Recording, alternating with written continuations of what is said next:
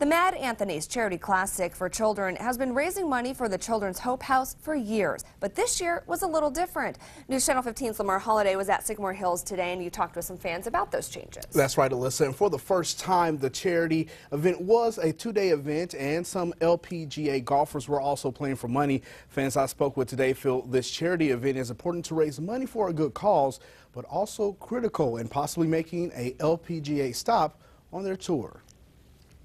For more than 50 years, Mad Anthony's has been raising some green on the green of Sycamore Hills Golf Course for Children's Hope House. Some families came for the charity as well as making this a perfect outing for Dad on Father's Day. It's, it's great golf and it's just a nice opportunity to spend time with my family. Families also came for the charity. This is Hope House's biggest donation drive. Hope House is for families with sick children with no place to stay.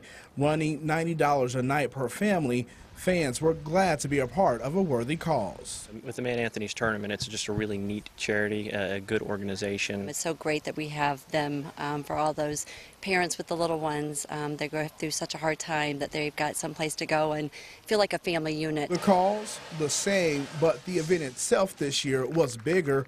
Two days instead of one, and some LPGA golfers on the course, which could set up the city for higher profile events in the future.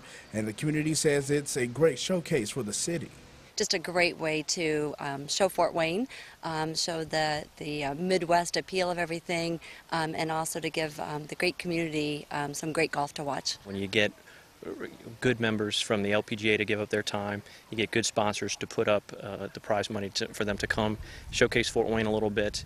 Um, that we have great weather, that it happens to be Father's Day. It's just a lot of good things that happen at the same time. Butler basketball coach Brad Stevens was this year's Red Coat recipient. Thousands of dollars are raised for the Hope House each year. And coming up in sports, Joe will have more on today's Classic. Okay, thank you very much, Lamar.